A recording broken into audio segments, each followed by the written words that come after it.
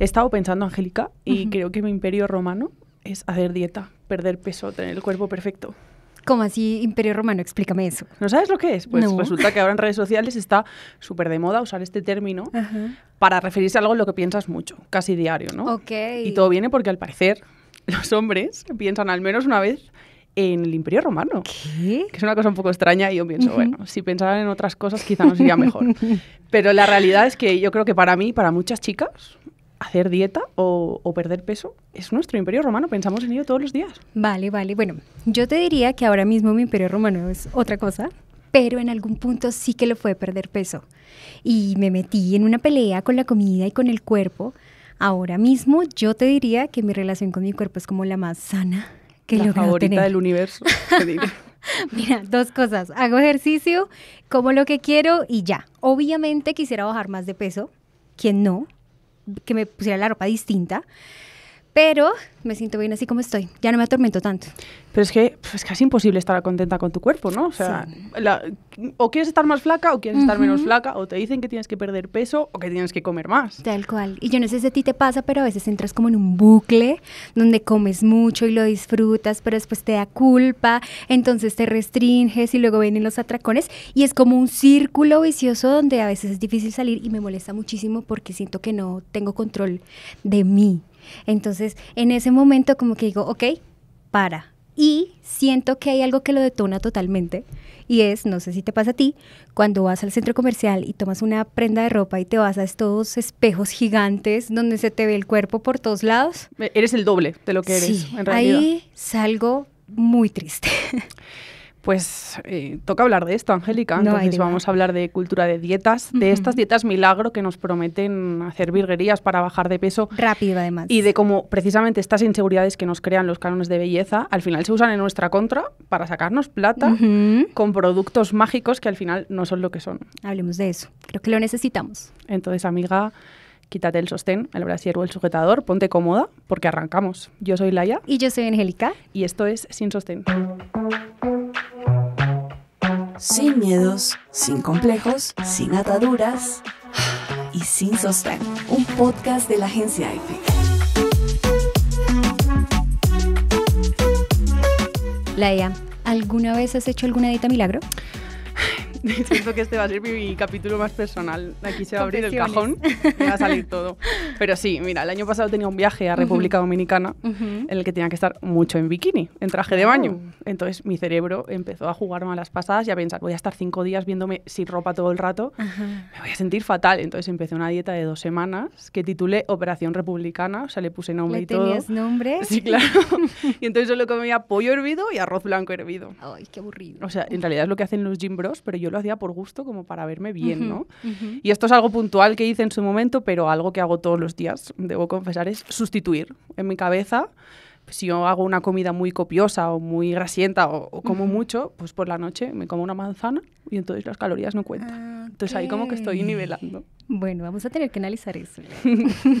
Yo hice una dieta también. La última vez que hice dieta, y creo que no voy a volver a hacer más, fue para casarme, porque quería entrar en ese vestido así, verme súper divina. Entonces hice ayuno intermitente. Entonces escúchate la rutina. Desayunaba, almorzaba, comía algo a las 5 de la tarde y pum, dejaba de comer.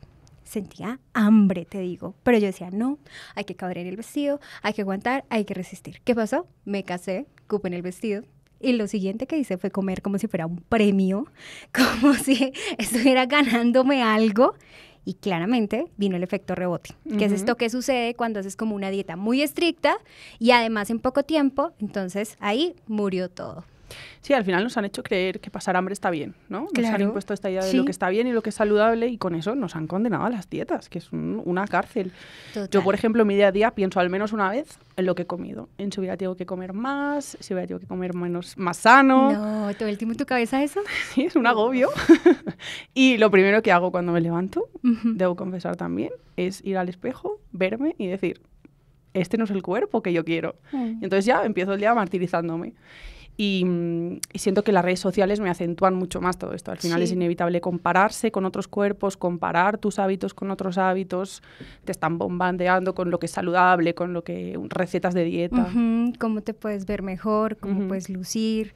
Bueno, yo creo que esto también empieza desde que estamos muy pequeñas. Cuando yo era adolescente empecé a pensar que la comida era el enemigo y no, o sea, me veía en el espejo y me sentía fea, me sentía gorda.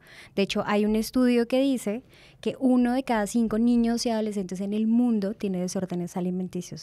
Y a eso agrego que en América Latina está, es la región con la dieta saludable más cara de todo el mundo. Eso quiere decir que más del 22% de la población, que son 131 millones de personas, que es muchísima eh, gente, no tiene recursos para acceder a una dieta saludable. Y, y hablando de estudios, otro que se hizo en 30 países del mundo decía que más del 50% de las personas estaban intentando perder peso en ese momento. O sea, es una barbaridad. Claro. Bueno, mira, yo creo que ya tenemos muchísimas dudas sobre dietas, así que nuestra invitada de hoy es nutricionista. Ella hace un trabajo brutal en TikTok.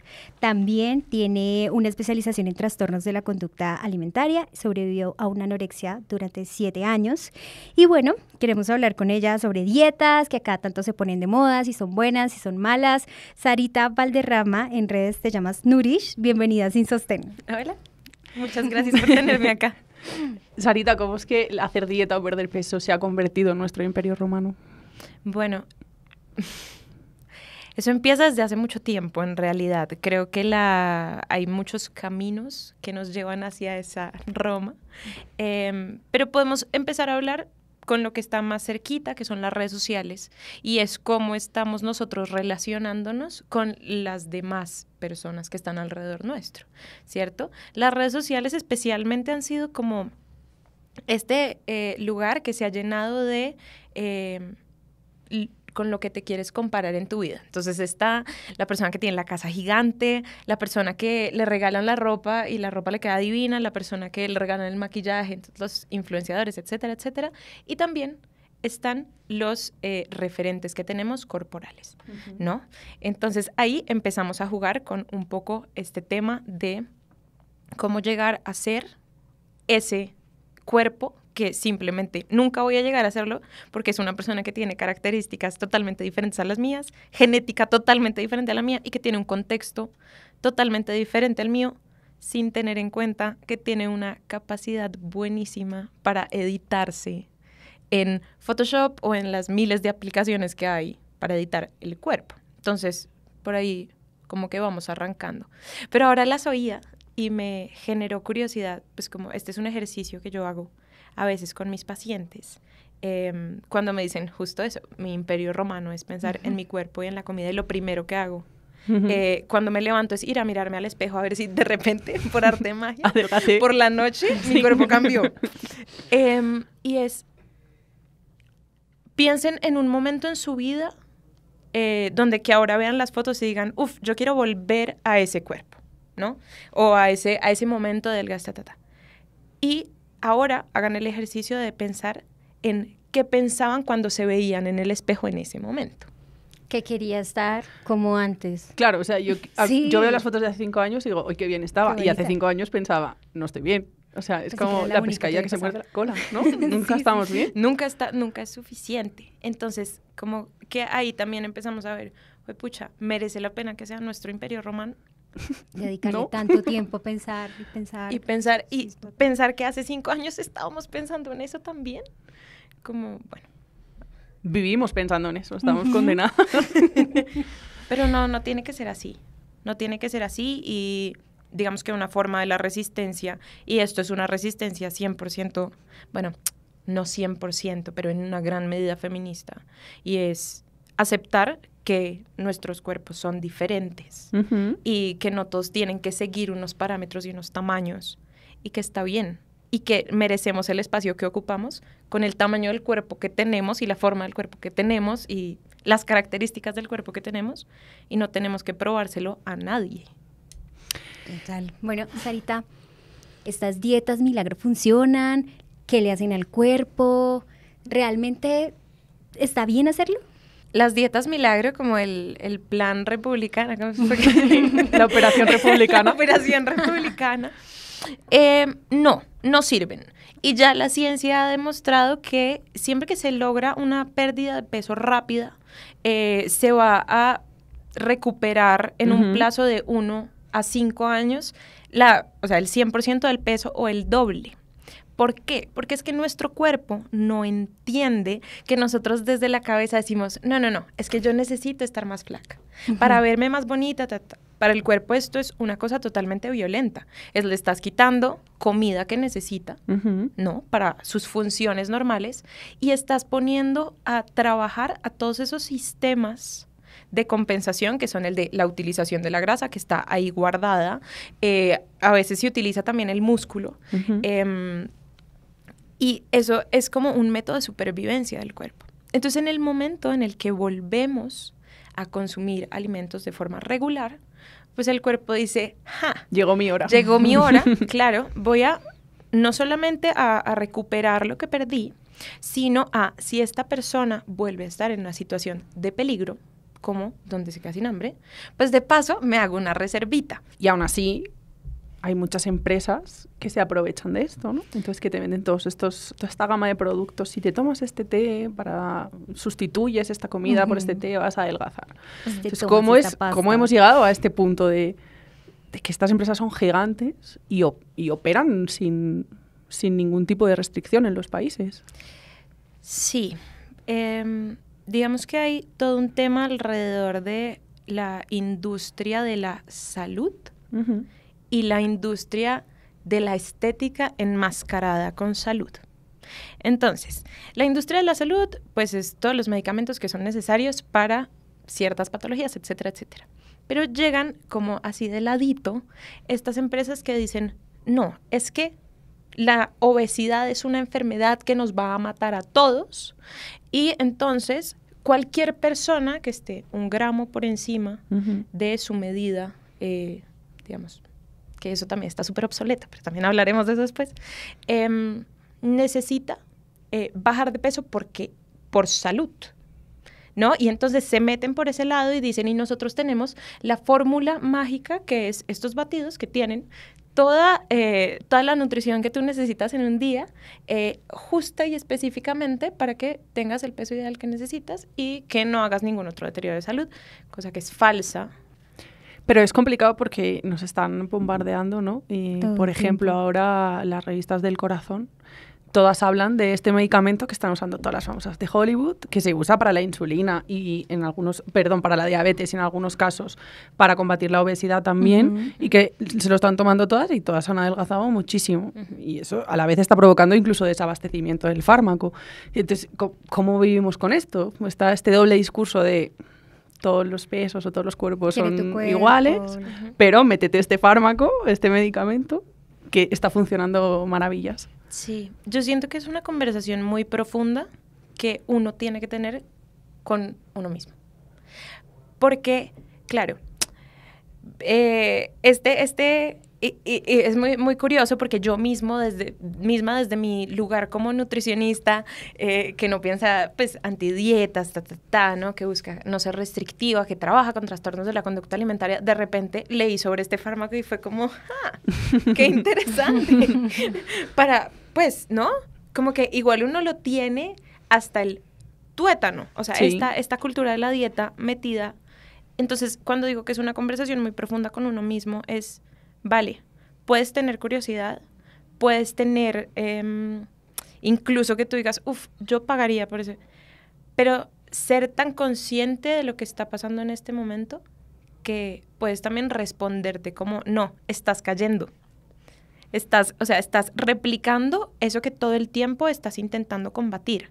Sí, es un trabajo activo eh, que cansa totalmente. Difícil, sí. Y que no, a ver, no es justo tampoco porque ninguna decidió nacer en el contexto en el que nacemos con Las la in- presiones. las presiones que tenemos. O sea, yo siento que la teoría nos la, nos la sabemos todas, pero es Pero que la práctica es sí. imposible. O sea, a Ujú. mí me resulta tan complicado. O sea, yo sé que debo aceptar mi cuerpo y que no debo estar preocupándome, pero no, no puedo. Eh, parte de, de hecho, esto que me estás contando en este momento es como la base o donde se engendra un TCA. Em, y por eso yo siempre digo que los TCA son un, un tema de, de la cabeza, eh, que hay que tratarlos pues desde la cabeza. Sara, mm, bueno, Sarita, ¿no? Porque ahorita nos estabas contando que tu nombre real es Sarita. Real. Como estamos aquí para ayudarnos, trajimos el testimonio de una chica venezolana, ella se llama Carmen. Dani habló con Carmen y ella dijo que ha hecho varias dietas, pero que en este momento solo come sopa de hueso. Hace unos años estuvo con una famosa dieta alcalina que eh, pues ella defiende que le sentó demasiado bien a su salud, pero quizá esto no es tan así. Vamos a escucharla. Tardé muchos años, mucho tiempo, muchos, muchos años en haciendo la dieta y me fue bien en ese sentido porque me, eh, me mantuvo siempre en un buen peso, una buena calidad de piel, una buena calidad de, de, de- de aspecto físico y, de- sentirme bien. ¿Qué me sucedió? Sí fui perdiendo masa muscular y al punto de que, bueno, pues eh, sufrí de COVID y eso no me ayudó porque traté de consumir alimentos que, que me proporcionaran masa muscular rápidamente y, pues eso lleva su tiempo. Entonces un- una complicación ahí. Ya, ya está solventado con la incorporación dentro de la dieta alcalina de, de- de más proteína, porque obviamente yo asumí evitar la, la proteína, cosa que no se debe hacer.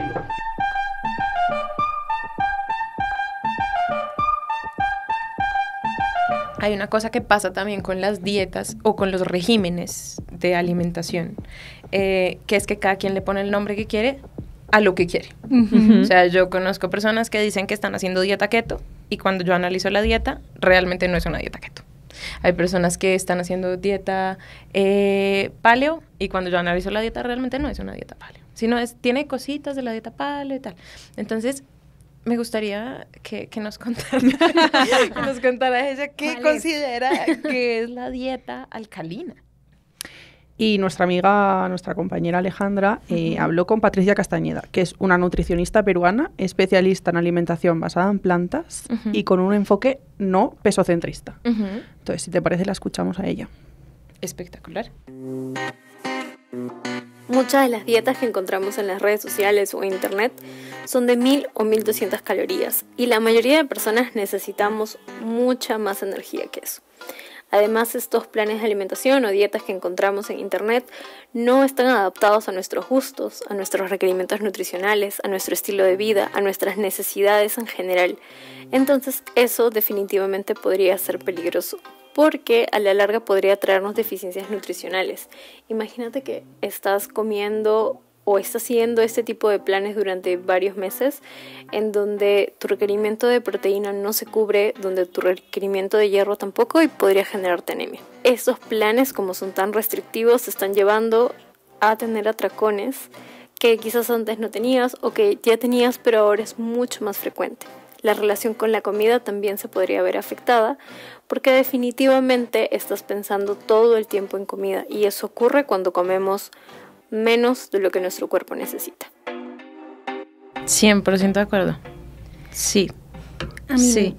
a mí me pasó durante muchos años que mi relación con la comida era primero el enemigo, pero después, como les decía antes, te decía antes se me cayó el cabello, entonces fue el salvador porque tuve que volver a comer para recuperar muchas cosas que había perdido en mi dieta. Y ahora mismo es como mi amigo. La comida es como mi amiga, entonces yo sé que necesito comer para estar bien, para hacer mis actividades diarias. ¿Cómo funciona esa relación con la comida? ¿Cómo podemos mejorarla? Sobre todo porque siempre, siempre está ahí, ¿no? No, La gente no piensa en debo bajar de peso y debo hacer ejercicio. No, primero tenemos que quitarnos eso que comemos.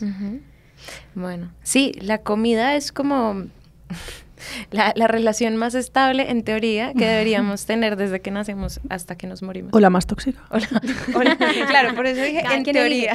Por eso dije en teoría. Y mm, el objetivo de hoy es que todas mejoremos la relación con nuestra comida, no solo nosotras, sino nuestras amiguitas que nos están escuchando. Entonces yo he hecho una lista de cuatro mitos o relaciones tóxicas que yo siento que tengo o que pueden tener muchas chicas. Entonces, ¿qué les parece si los desmontamos y hablamos sobre eso? Fascinante. El primero es, y que yo mencionaba antes, es sustituir comidas o hacer cálculos con las calorías en nuestras cabezas, ¿no? El girls Sí, math. Girls math, pero de calorías. Entonces, si yo como ahora más, luego como menos y se compensa y pierdo peso mágicamente. ¿Sí funciona? No. Spoiler, no. Es- spoiler, no. En realidad eso se llama compensar y mi querida amiga es una conducta de riesgo. Se puede compensar con la comida misma o se puede compensar también con otras actividades como el ejercicio, etcétera, etcétera. Esto puede ir eh, hacia lugares muy oscuros. Em, pero no funciona porque es que la, el cuerpo no tiene matemática de calorías. ¿Sí? Nosotros los alimentos los vamos a, o o los nutrientes que están en esos alimentos los vamos a utilizar conforme nuestro cuerpo los necesita. ¿Sí? Entonces, que yo ahora me coma una hamburguesa y por la tarde me coma una manzana, no, digamos que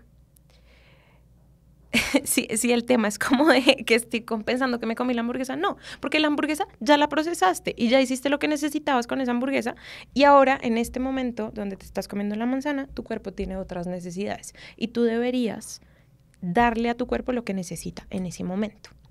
El segundo que tengo es em, que no sé si es tanto relación tóxica, pero es pensar que las personas delgadas son más felices, ¿no?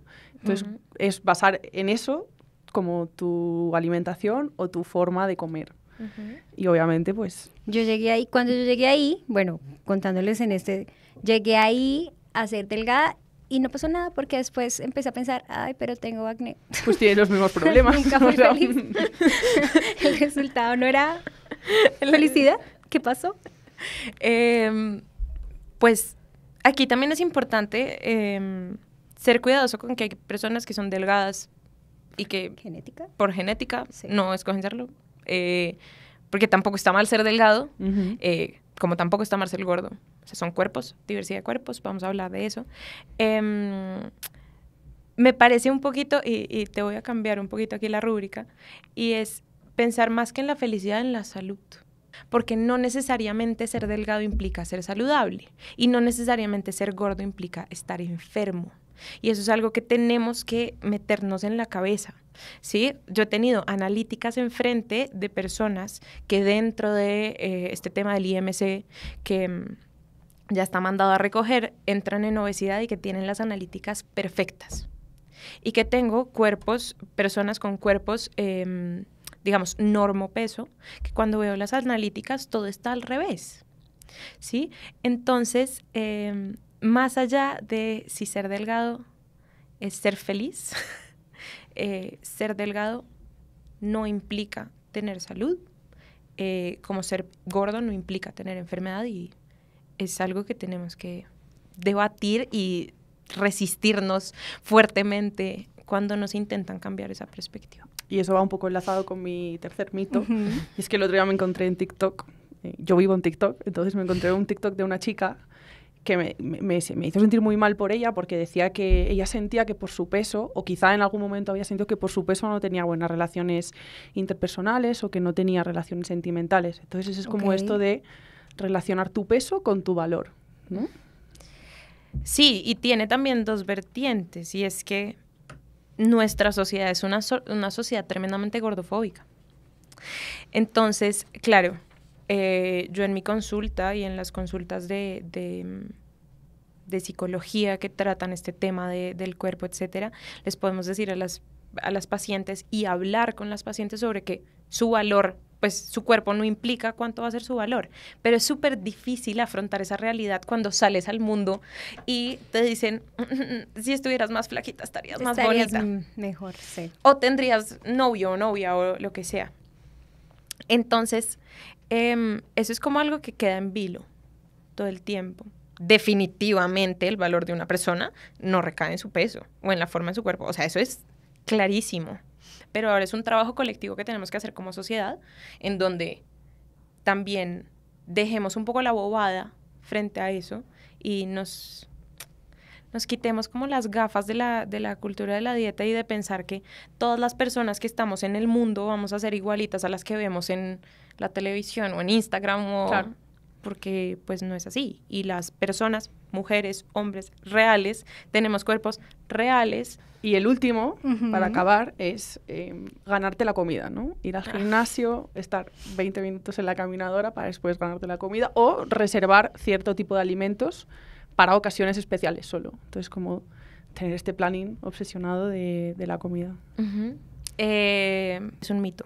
La comida nos la merecemos porque estamos vivas. Eh, fin. No tiene que haber mayor eh, explicación a eso. Y lo de las comidas como de, tiempos especiales, eso es algo que cada vez más em, analizo y hablo con mis pacientes y es que cuando les damos, le damos ese lugar o ese valor a, a los alimentos, em, lo estamos poniendo en un lugar como cuando uno era chiquito y le decían como, eso no, sino hasta después del almuerzo, el postre, el premio. Cuando hacemos eso con otras cosas como el ponqué del, del cumpleaños, por ejemplo, o que solo vamos a comer a restaurantes ricos en fechas especiales. Estamos una vez más poniendo la comida en un lugar de moral, como de esto es mejor, entonces te lo tienes que ganar, ta, ta, ta. Entonces la, la invitación a eso también es como, comanse un ponqué un día, un martes.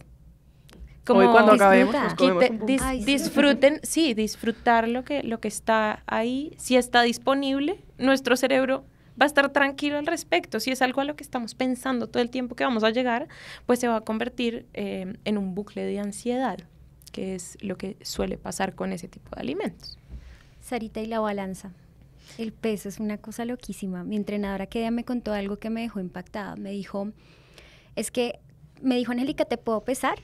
Eh, ¿Y quieres ver? Y yo, sí, ¿por qué? Porque tengo otras chicas que definitivamente prefieren no ver el peso, no ver el número que se marca en esa balanza. ¿Por qué? Porque empiezan a entrar en ese bucle. Ahí quiero que nos aclares un poco, porque ella también me dijo que estés, que estés mejorando tu composición muscular no va a significar el- un resultado distinto en la balanza. ¿Qué pasa? Con la balanza, eh, una persona se puede subir a la balanza y haber subido de peso y que esa subida de peso haya sido porque aumentó masa muscular. Entonces es una persona que, aunque se ve más delgada que como se veía antes, pesa más. Y ahí empiezan, claro. Eso ¿no? nos complica un poco las Eso cosas. nos complica las cosas, Nuestro claro. cerebro se vuelve un poco loquito. "Ah". Entonces, un poco loquito. Y eh, cuando, digamos que uno no tiene tanta claridad frente a qué está pasando ahí, si no ve que está bajando la balanza, porque es lo que nos han dicho que tiene que estar bien, que es que uno baja de peso, eh, empieza la frustración. Entonces, la frustración con el movimiento, la frustración con uno mismo, la frustración con los alimentos. Y hacer todo lo que esté en tu poder para bajar de peso. De ese peso, que es una medida que pues no nos indica realmente Depende de muchas cosas. Nada, exactamente, depende de demasiadas cosas. En nosotras las mujeres específicamente, nosotros podemos tener una variabilidad hasta de dos kilos en el día. Esto me complica mucho las cosas. En el día. Los días antes de la menstruación, como una, o sea, como nuestro cuerpo sabe que va a perder mucho líquido, pues retiene mucho líquido. ok. Y podemos subir hasta 4 kilos el líquido. No se pesen. No se pesen sobre todo si les genera un, si es como un trigger para su salud mental. No, no merece la pena. Guarden la balanza. Sean felices. sí. Y yo siento que después de haber sacado a la palestra todas nuestras inseguridades y miedos, toca despedirnos y cerrar Oh, este capítulo. Pero Ya- aprendimos un montón, Sí. te digo. Y yo creo que la conclusión es que al final todas compartimos estas frustraciones, en, en los cerebros de todas están este tipo de, de pensamientos que tenemos que ir combatiendo poco a poco. ¿Cómo es? Barriendo. Barriendo, Vamos hay que ir limpiando. Limpiando. Y la conclusión es que se puede vivir sin dietas Se puede vivir sin dietas. y que nuestro 100%. peso no determina nuestro valor. Total. Hay una cosa que me gustaría decir antes de irnos, y es que hay una nutricionista que dijo que qué pasaría en el mundo si todos nos despertáramos un día todas y dijéramos, wow, me siento bien, no necesito ninguna restricción, no necesito ningún medicamento para estar bien. Entonces, en algún punto las farmacéuticas o estas que nos venden un montón de suplementos y cosas así, pues quebrarían. Tenemos el poder. Lo tenemos, sí, señora. Claro Sarita, sí. muchas gracias. Muchas gracias por la invitación. Bienvenidas, bienvenides. Y amiga, recuerda que sin sostén la vida suele ser mucho más divertida. Súper. Sin sostén y sin básculas. Ah, no se pesen. Sin Sostén es un podcast de la agencia F presentado por Laia Mataish y Angélica Rodríguez. Un poquito más y ya va. Guión, Laia Mataish, Angélica Rodríguez e Irene Escudero. Bienvenidas por 10% de descuento por estar aquí. Dirección, Javier Marín. ¿Y se escuchó bien? Siento que me volví a trabar. Producción ejecutiva, Raquel Godos y Javier Marín. Listo, China. Ok. Fue fin. Haciendo magia. Producción, Irene Escudero y Laia Mataish. En sus tenis sin básculas. Ah, no se pesen. Audio y video, Mauren Barriga, Victoria Cárdenas y Daniela Cubillos. A ti una vez te tomé medidas, sí es verdad. Postproducción, Esteban Novillo. Yo siento que he sido diagnosticada con un poco... Ay, perdón, se sintió, se, se sintió así. Diseño gráfico, Miguel Mulas. Perdón, te interrumpí. ya no te interrumpo. Interrúmpeme, por favor. Becaria de producción, Paula Cabaleiro.